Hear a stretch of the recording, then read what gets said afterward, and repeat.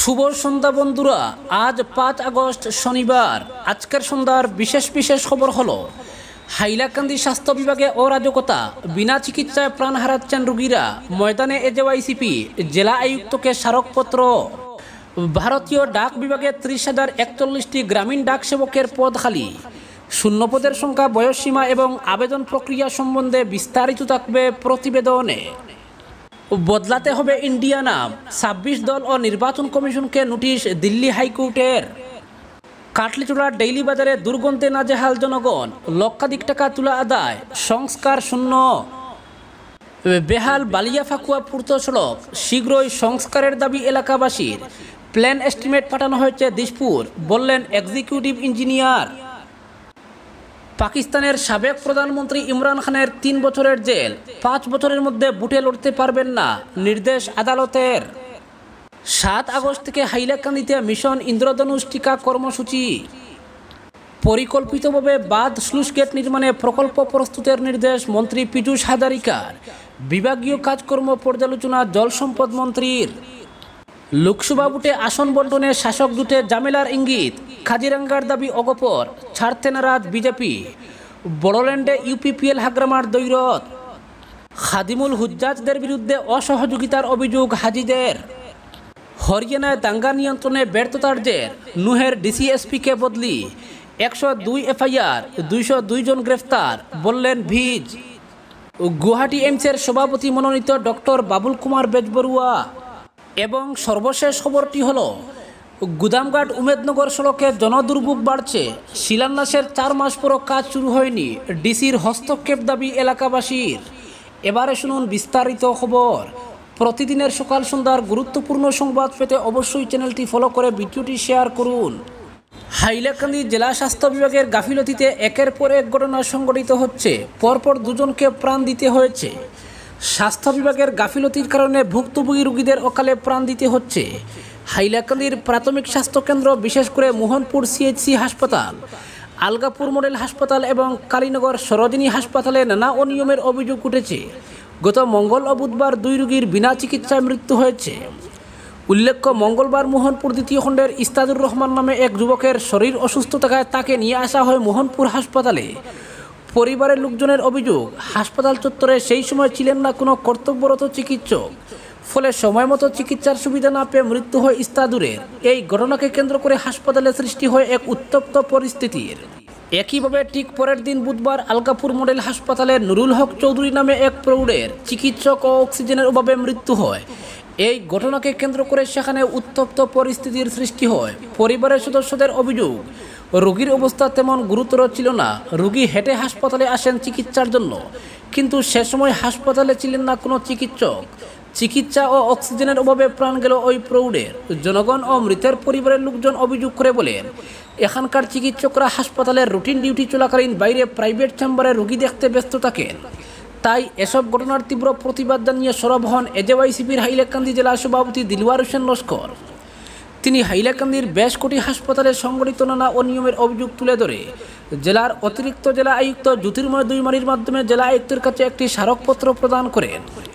তিনি সংবাদ মাধ্যমকে বলেন, হাইলাকান্দি স্বাস্থ্য বিভাগের গাফিলতি ক্রমশ বাড়ছে। রোগীরা ঠিকমতো চিকিৎসা পাচ্ছেন না। হাসপাতালে রোগী নিয়ে গেলে সময় মতো চিকিৎসা না পেয়ে মৃত্যু হয় তাদের।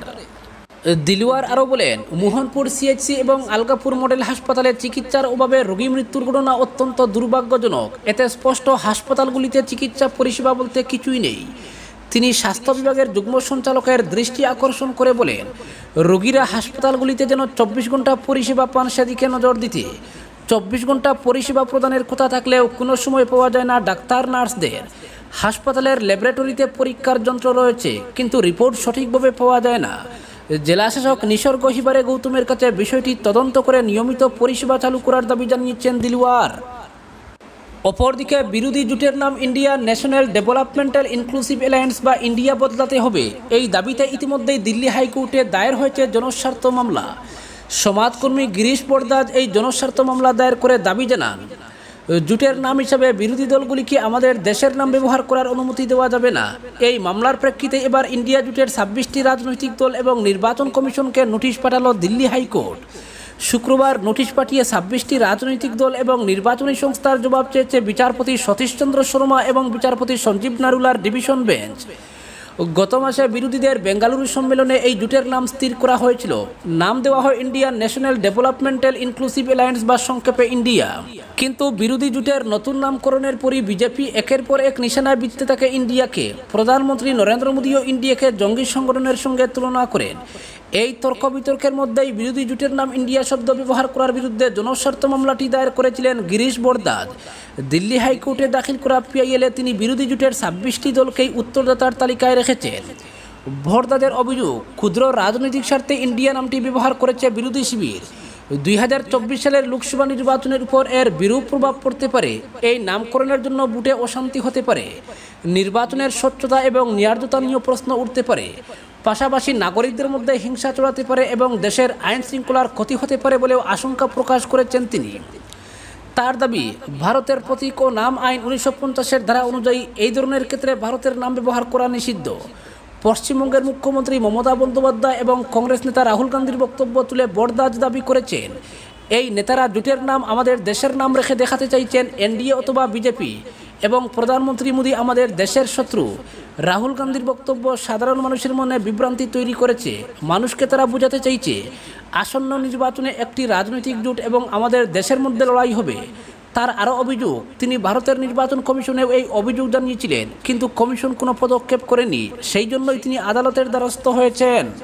অপরদিকে খাদিমুল হুজ্জাজদের বিরুদ্ধে আইনি ব্যবস্থা নেওয়ার দাবি জানিয়ে প্রায় চার শতাধিক হাজি লিখিতভাবে রাজ্য হজ কমিটির কাছে নালিশ জানিয়েছেন। অভিযোগকারীদের মধ্যে রয়েছেন দক্ষিণ করিমগঞ্জের হাজি মাসুক আহমেদ তাফাদারও। শুক্রবার হজ ব্রত পালন করে বাড়ি ফিরে আসেন দক্ষিণ করিমগঞ্জের হাজি মাসুক আহমেদ তাফাদার। বাড়ি ফিরে তিনি সংবাদ মাধ্যমের কাছে খাদিমুল হুজ্জাদের বিরুদ্ধে অভিযোগ করে বলেন, তাদের অসহযোগিতার ফলে এবারে হজযাত্রীদের নানা দুর্ভোগ পোহাতে হয়েছে। হজ কমিটি ঘোষণা করেছিল, বিগত বছরের তুলনায় এবারে হজযাত্রীদের এক লক্ষ টাকা কম খরচে হজ পালন করা হবে। অন্যান্য বছর গুয়াহাটি থেকে জিদ্দা বিমান ছিল। কিন্তু এবার গুয়াহাটি হয়ে দিল্লি বিমান থাকায় অন্যদের সঙ্গে হজযাত্রীদের আসা যাওয়ার ফলে চরম অসুবিধা বুক করতে হয়েছে। আসার সময় দিল্লিতে জিনিসপত্র নিয়ে আবার বুকিং করতে হয়রানির শিকার হয়েছেন তারা। তিনি বলেন, বিগত বছরের তুলনায় এবারে হজযাত্রীদের কাছ থেকে অনেক বেশি টাকা আদায় করা হয়েছে। হজযাত্রীদের সুবিধার জন্য খাদিমুল হুজ্জাজ পদের বিলুপ্তির আহ্বান জানান তিনি। বলেন, খাদিমুল হুজ্জাজরা হজযাত্রীদের কোনো সহযোগিতা করেননি। হজযাত্রীরা খাদিমুল হুজ্জাদের টিকিট নাগালো পান না বলে অভিযোগ করেন তিনি। হজ কমিটির নির্দেশ মতো গ্রুপে থাকার পরও প্রতিটি রুমে সম্পূর্ণ অপরিচিত আর দুইজন মহিলা যাত্রীদের সংযুক্ত করে দেওয়া হয়েছে। এটা কতটুকু শরীয়তসম্মত এই প্রশ্ন তুলেন তিনি। বলেন, হজযাত্রীদের আরও ভালো করে প্রশিক্ষণের ব্যবস্থা করা প্রয়োজন এবং খাদিমুল হুজ্জাদের সঙ্গে হজযাত্রীদের পরিচিতি করা আবশ্যক। এবারের হজের ছিয়ানব্বই গ্রুপের প্রধানরা লিখিতভাবে রাজ্য হজ কমিটির কাছে খাদিমুল হুজ্জাদের বিরুদ্ধে নালিশ জানিয়েছেন। পরবর্তী খবরটি হলো, ইমরান খানের তিন বছরের জেল, পাঁচ বছরের মধ্যে বুটে লড়তে পারবেন না, নির্দেশ আদালতের।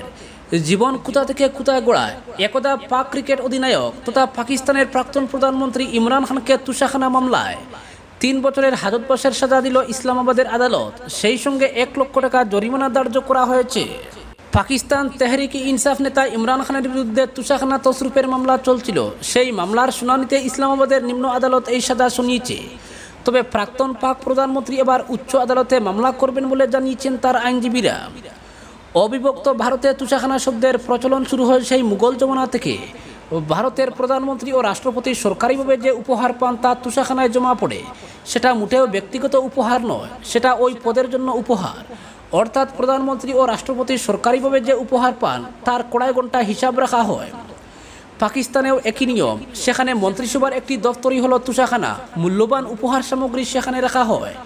পাকিস্তানের আইনে বলা হয়েছে, পাক মুদ্রায় ত্রিশ হাজার টাকার কম মূল্যের উপহার প্রধানমন্ত্রী নিজের ব্যবহারের জন্য রাখতে পারেন। কিন্তু তার চেয়ে বেশি মূল্যের উপহার পেলে তা তুষাখানায় জমা করতে হবে।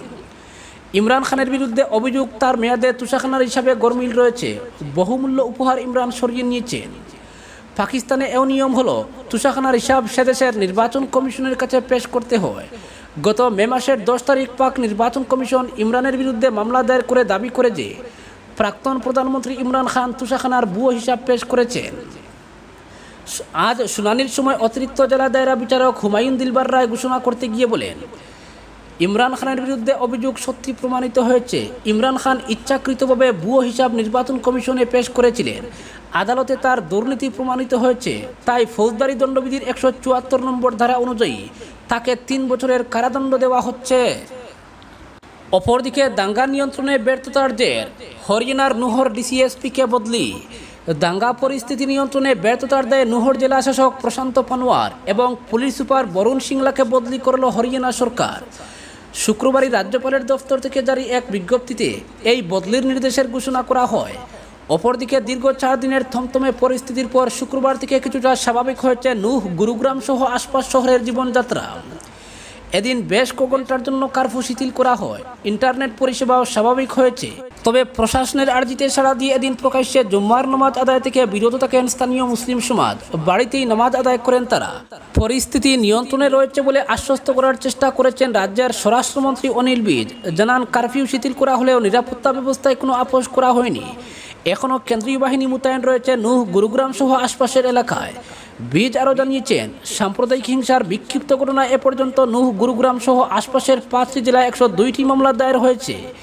হিংসায় প্রত্যক্ষ যোগসাজসের দায়ে এ পর্যন্ত দুইশো দুই জনকে গ্রেপ্তার করা হয়েছে এবং অতিরিক্ত আরও আশি জনকে আটক করে জিজ্ঞাসাবাদ চালানো হচ্ছে।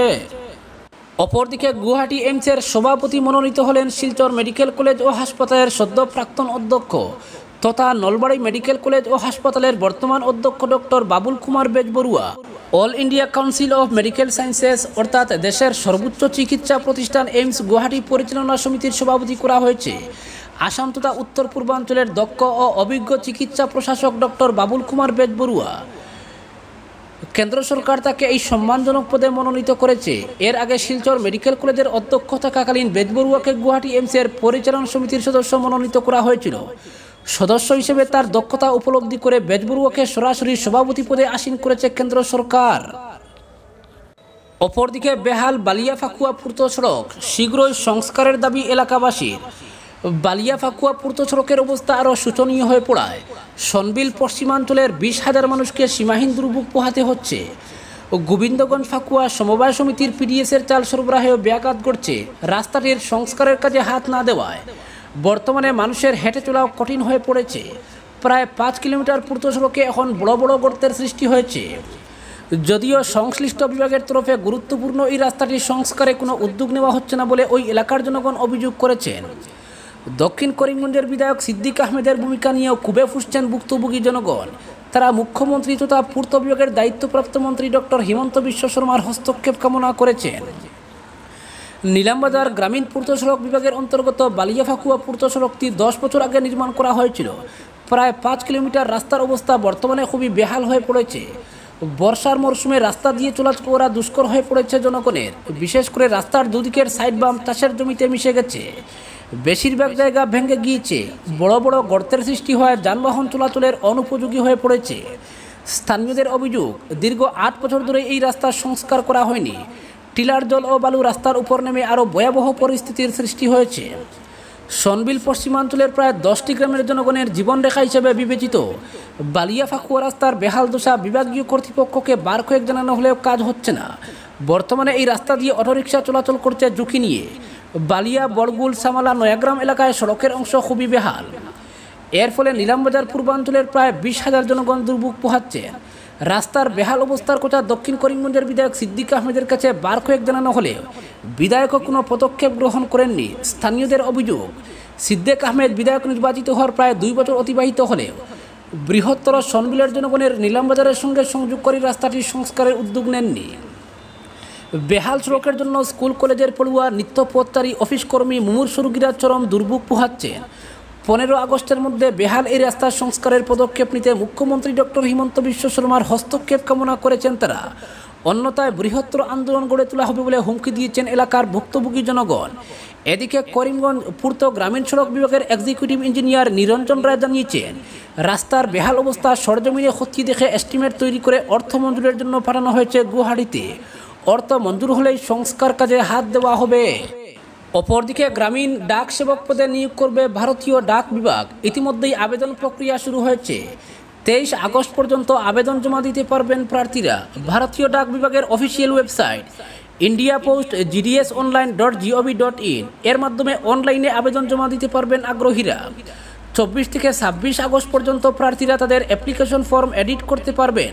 ত্রিশ হাজার একচল্লিশটি শূন্য পদে নিয়োগ করা হবে। আঠারো থেকে চল্লিশ বছর বয়সীদের মধ্যে থাকা প্রার্থীরা আবেদন করতে পারবেন গ্রামীণ ডাক সেবক পদের জন্য। শিক্ষাগত যোগ্যতা হলো দশম শ্রেণির পরীক্ষায় উত্তীর্ণ হওয়া সার্টিফিকেট থাকতে হবে আবেদনকারীদের কাছে। অঙ্ক এবং ইংরেজি এই দুই বিষয়ে উত্তীর্ণ হতে হবে। কেন্দ্রীয় সরকার অথবা রাজ্য সরকার অথবা কেন্দ্রশাসিত অঞ্চলের স্বীকৃত স্কুল শিক্ষা বোর্ড থেকে সার্টিফিকেট পেতে হবে আবেদনকারীদের। এই সার্টিফিকেট বাধ্যতামূলক শিক্ষাগত যোগ্যতার পরিচয়পত্র হিসাবে অনুমোদন পাবে। এর পাশাপাশি বাধ্যতামূলক বা ঐচ্ছিক বিষয় হিসেবে অন্তত দশম শ্রেণি পর্যন্ত স্থানীয় ভাষা পড়তে হবে প্রার্থীদের।